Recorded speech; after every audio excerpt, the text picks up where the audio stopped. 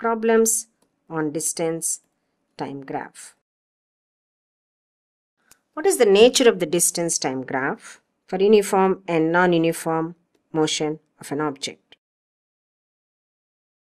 For uniform motion, graph is a straight line. For non-uniform motion, graph is a curved line. What does the slope of distance time graph indicate? Slope indicates the speed of the body. What conclusions can you draw about the velocity of a body from the displacement time graph shown below?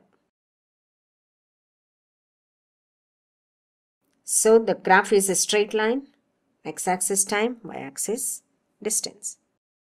So we say that since it's a displacement, this is a velocity graph. So the body is moving with uniform velocity.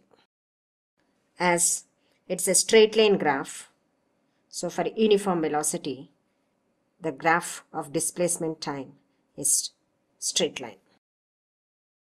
And if displacement is distance, then it becomes uniform speed.